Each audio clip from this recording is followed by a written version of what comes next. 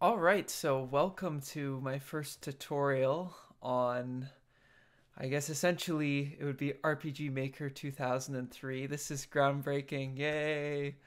Um, I'll put the uh, links to the description in, I guess, future tutorials. Um, not the greatest public speaker, so if you hear me saying um a lot and uh and uh, you know, this is essentially my first YouTube tutorial video.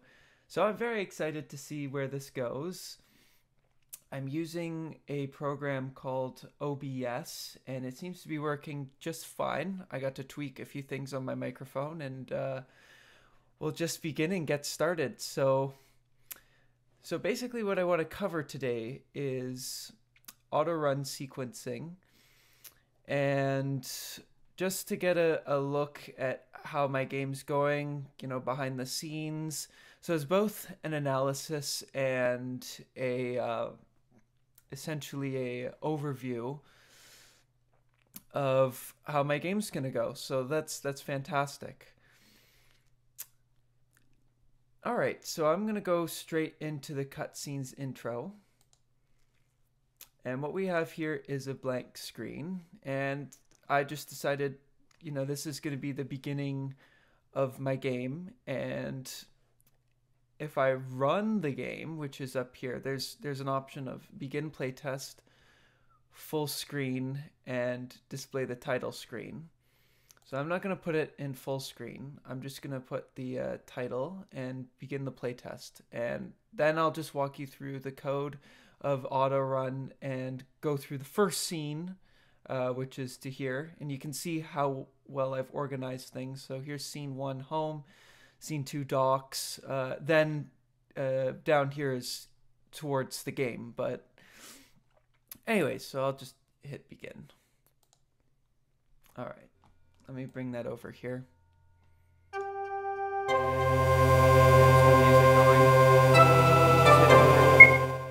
Okay. So I immediately have an option that allows you to change whether you want it in full screen or window just as a preset. I'm going to go ahead and just set it to window and just set it to the size so we can compare the code back and forth. All right, so okay. Oh.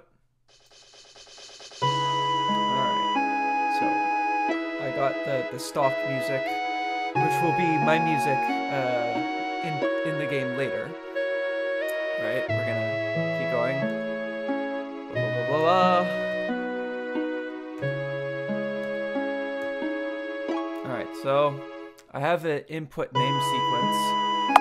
What, what I'm gonna try and do later is have the uh, text read the name. I'll just call him J. I'll just call him J. he looks like a J. Uh, get over here. Alright.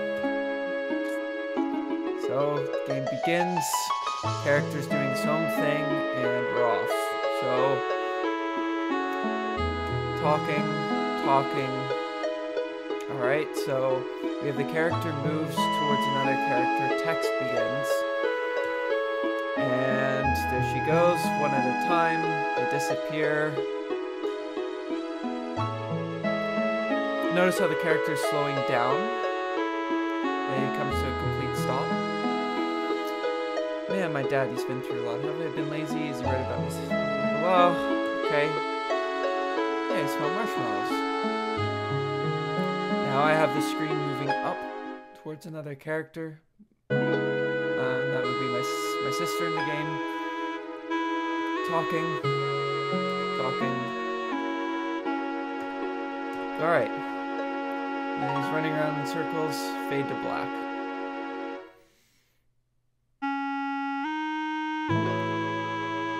Black later that evening, and then arrive inside the house. Okay, I'm gonna stop there. Cool.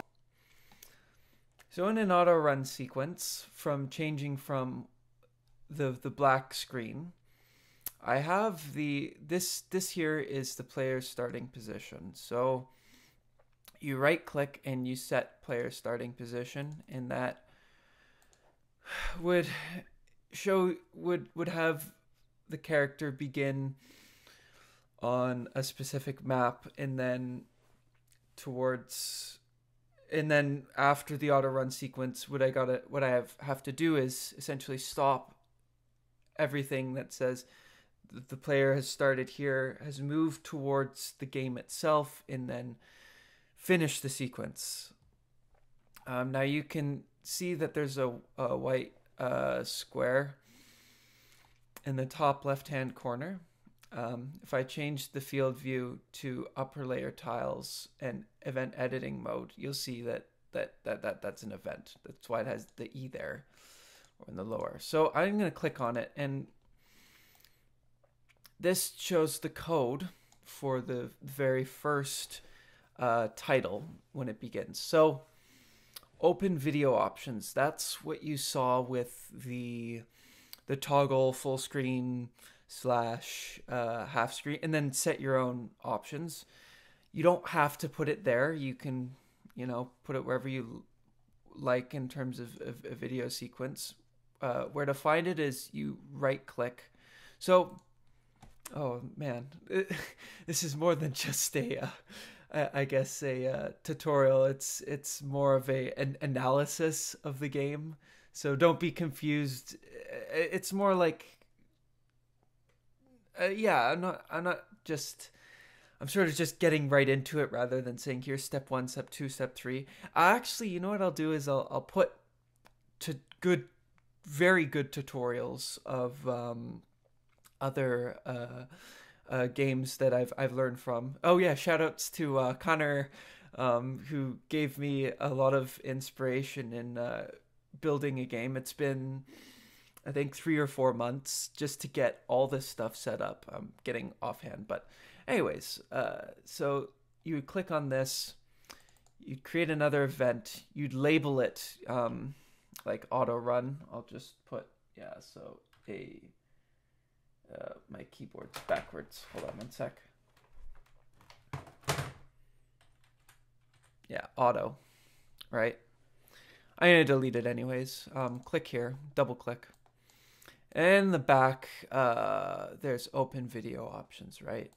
And then you'll get you'll get that. But anyways, um, so he does all that, and then you notice how the uh, music begins. And when I put transparent is on, if if I were to turn it off, when you have a player's starting position, you'd see the character here and this is this is very useful. So at the end of this auto run sequence, when I get to the island house or down here, you're gonna notice that when I click on the same thing, show hide player, I'm gonna have the transparency of the player off, and then the auto run, and then it's gonna cut, and you know I'm getting way too far ahead of myself. This is again, it's not so much a tutorial as as much of an analysis. It's both.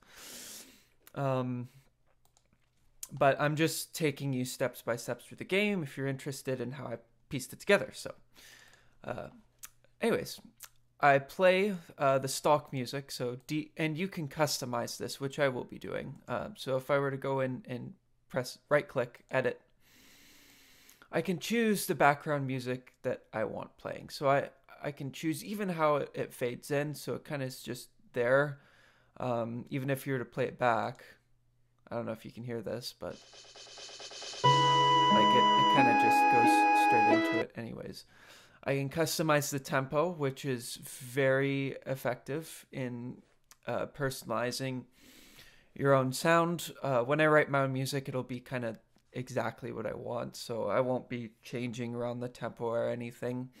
I'm probably not going to use any of this. Of course, it will be credited as not mine if I do use it in the game, and then the balance will be either to the left of the, the, the listener or the right of the listener. Probably just want to keep it always center and hit cancel. So you could walk through this. You have the options of having the character seen on and off.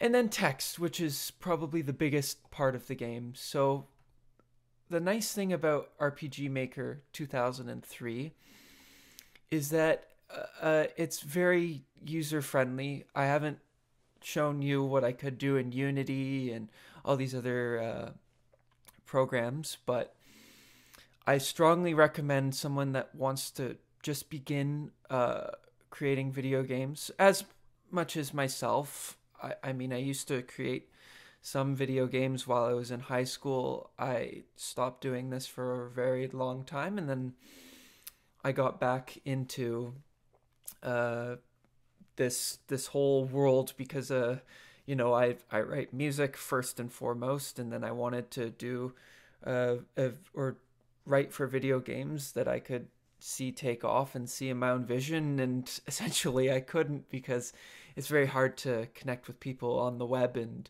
in person and they already got projects going and you know it's a whole so you know take charge and uh, be build your own game uh, create your own world. Um, there's there's nothing that says that you can't. I'm a strong believer in you know anybody can do anything if they put their mind to it and it's probably better to just grab from all these worlds. So you know right now i've i've just become a, a youtube persona or youtube creator. So you know there's a new one. This and this is the beginning of that so i'm very excited. Anyways um you can find text if you insert or uh, yeah edit insert. And it says show text and then you can just write the text. Uh, something to note um, is that at a certain point when you're writing the text, uh, I'll just do uh, the the this uh, RPG Maker doesn't recognize when the text gets cut off, so you could keep going till here. But the truth is, it might only cut off about like here per se. So you want to just test that, and you can see in in uh, the the dialogue here is that I've, I have it very nicely cut so that it fits the text box itself. Um, I'll get to this in just a quick second, but when you also add a character's face next to the text box, it becomes even shorter. So that that's an important thing to to note when you're doing an auto run. Um, also very important. Uh, there's there there's something here called triggers, and for an auto run sequence, you want to make sure that uh, the trigger is actually set to auto run rather than parallel process or event touch, player touch. Th- those things are, are for uh, uh, later. Um, and these are more in games, so I could just run through them very quickly because I guess it's both a tutorial and analysis. An action button, for example, I would use this as if I was running the game and I wanted to uh, click something. Um, let's say I walked up to a fence and I wanted to like do something to the fence. I'd, I'd do action button. A player touch would be when you're walking into a house or walking into a new map. So you don't have to select the new map. You're just walking into it. That's so it's self-explanatory. Um, parallel process this, this is where it gets tricky. I i haven't so much used event touch or parallel process but i believe i believe parallel process is when you're going through an auto run and you want to switch it off to um the in game. So you wouldn't be using these two very often event or parallel. I, I again as i learn through more tutorials i'll, I'll get this. Anyways um here, right here is where I get the uh, the name, or I input my name. Uh, so insert. Where would this be? Uh, video options, island guy. Uh, da, da, da, da, da, da, da. Play beach. Um, input name input processing. Maybe I skipped over it, but it's somewhere in here. Uh, key input processing might be towards the beginning. There it is, name input processing. And you, you have all these specific kinds of, uh, you probably only need to use it once or twice, whether you gather characters and you want to and you can also always change their name in, in the in the font screen but it's you know it's professional. It's a very very very uh, detailed um, even even the earliest rpg maker 2003 uh, so i do that get over here uh, that i've i fade out. So this is a, a type of uh, change screen transition. And the most important thing when you're changing maps, and this goes for both uh, an auto run or a uh, or just while you're in game. Um, you can transfer the player so you can see the next screen. Uh, these are both events, character events. I have him facing up. I have him falling in at this this point, and I, I selected that map. So this is the first map, and I can change it, right? I could go, you know, the next screen could have actually been here, and then I could click here, say he's facing up, and then just jump a couple maps, right? But that wouldn't make sense in the auto run, so I'll just hit cancel, cancel, and we go into the next map. Um, we're at the 16 minute mark. I'm going to just go very quickly over this map and then call it. Perhaps I'll do a second auto run sequence for the next uh, tutorial. I was actually hoping to show you how I built uh, the pirate ship because there's a lot of the, the, I haven't seen any tutorials on how to build a pirate ship. So that's, but you know, I'll save that for for the next tutorial perhaps. So in the auto run sequence, I've switched maps. I've created a second event so you can see again. There's the event um, by changing tiles, and they always show up uh, pink unless you uh, change the uh, the graphic that goes inside. So next, uh, I have it on auto run, so it's it's going without me doing anything. Uh, it's happening below the characters. Then I have uh, the main character, which I set. Um, let's go over this as quickly as I can, because I want to make it, you know, not too long, not like a 40 minute video. We're at the 17 mark already. So I have the set movement route, which you can again find when you insert uh, I've been using this a lot, and you're going to be using it a lot for uh, uh, RPG Maker when you're creating a very complex scene. And that's what I'm going to be doing for most of the game because, like I said, the game focuses on uh, mental health and uh, story. So there's not going to be uh, battling monsters, there's not going to be, you know, the whole Final Fantasy shtick. it's going to be more just the character and uh, what he goes through and uh, finding his voice in the text. So here um, I have the character moving, and you have to count the tiles, right? So I'm moving up, up, left, up, up, right, right, up, right, and then right. So he's just facing. And skip. You always do skip if you can't move. Uh, wait for it. That's also important in some specific instances. As you can see here, I I tried having them both go in at the same time, but I, I couldn't at that point. So I had the mom go in first, wait for her. I created a, a function that allows her to leave first. And then I had the, the father uh, go in next and then had him move in second. Um, remember what I was saying about adding uh, face or uh, faces to the scenes. So you you can insert, and that's what change face set is. It's nice. It's very nicely organized um, here. So I just added a face. You could double click, add the face on on the left side or the right side. Again, this is not so much. It's like a half tutorial analysis. I'm just going through very quickly the things that I did to create uh, this game, and it's uh, you know this is uh, four or five month progress. We have yet to even touch the, uh, the, the the inner game, right? So text, text, and then this is where sort of the coding comes in.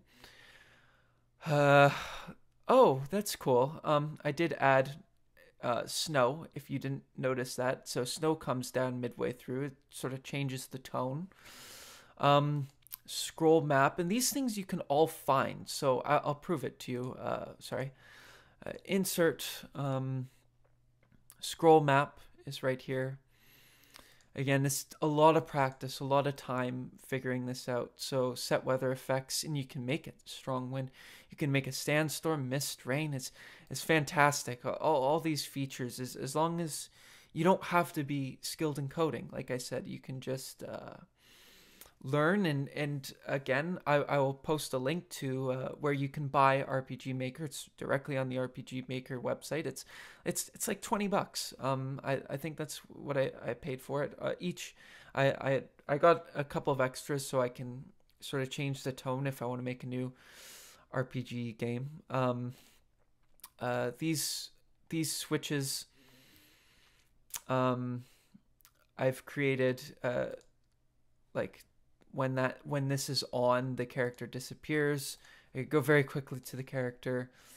Uh, so you can see how the graphic is there, and uh, when I create this graphic, it's gone um, for the mom and for the dad too, and then you you just keep doing that, and uh, yeah. Anyways, um, I I wish I could make uh, the uh, the screen either bigger or smaller when it's it's viewed but unfortunately there's there's sort of a, a fixed zoom on on the screen itself. So you you notice when I'll, I'll run it one more time and I'll, I'll call it a I'll call it a day. Uh, no. Uh, let me just play this. Oh. Um. Oh whatever. I'll just uh, run it, um, and then yeah. Okay. You, I just want to go back very quickly. You you can see how, how big the uh, the screen is, uh, but it doesn't show the entire screen. Then I'll I'll call it. I'll um, move on to uh, the next tutorial next time. Okay, so window. Okay. Oops.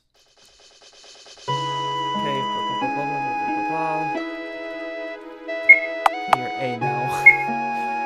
okay, and you can see how, how, how much it shows. So keep that in perspective, that it's not going to change the zoom of the game. It's just going to show a very specific portion.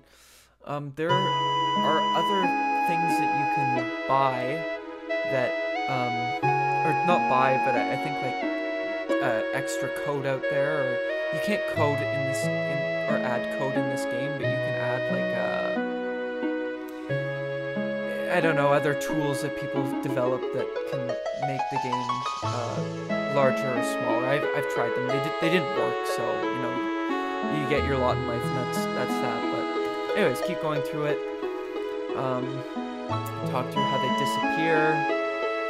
Uh, I've talked through how the faces are put on there. Um, I didn't talk about him going slower, but that's part of the uh, the movement. Then I showed you how the map can scroll, or the, the scroll selection.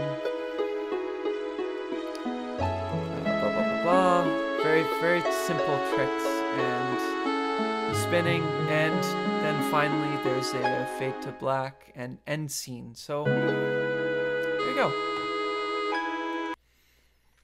Um yeah anyways that's I, am gonna call it here and say that's the the end of the first tutorial which is an example of a auto run sequence and just an in-depth analysis of the game them creating. So island uphold. Uh, i will attach links to the uh, the the screenshots of the game. I'll show you where the the game can be downloaded. I'm probably going to have it downloaded for free for the first uh, month or two. I'm I'm very excited to release it. Um, you could, so there's yes, screen scroll right at this. Uh, I had it tinted, and, and these things are all selectable. And there's that transfer player. So that's just an in-depth analysis of, uh, yeah, the game itself. For the next tutorial, for tutorial two, I want to get right into it. Uh, I will show you very quickly um, how to, or uh, the next tutorial will be about building a uh, pirate boat, uh, pirate ship. I'll show you what I created because no, I, I, haven't seen it. I've no one's actually done it. So this is it. Yeah, this is it. Ta-da! This is the uh, pirate boat. I'm gonna I'm gonna show you how I built this in the uh, next tutorial. I'll just zoom out. So not it. I mean, not perfect because I, I couldn't find uh, steps on it. But um, again, I'll show you uh, what I did, and we'll uh, we'll build it together. uh, side facing, and then there's uh, a way to fa- uh, face it up and down. But it'll be trial by error. It won't be uh, perfect. I mean, I can zoom in in on some of this stuff. It won't be perfect per se, but it's it's not about perfection. I, I can even show you the auto run sequence for it. I, I'm very very happy with how the auto run sequence turned out. It doesn't have to be uh, picture perfect in order to make your game work. Uh, people understand because there's there's no uh, tutorial. Anyways, so uh, this is Colin Sandquist uh, signing off. Uh, I hope you liked it. You can leave comments and whether this was helpful for seeing an insight of the game or um, what you can do. And even if it wasn't that helpful, I will link tutorials in the description that I found were enormously helpful. Uh, yeah, so uh, hope you liked it, and I'm signing off. Okay, bye.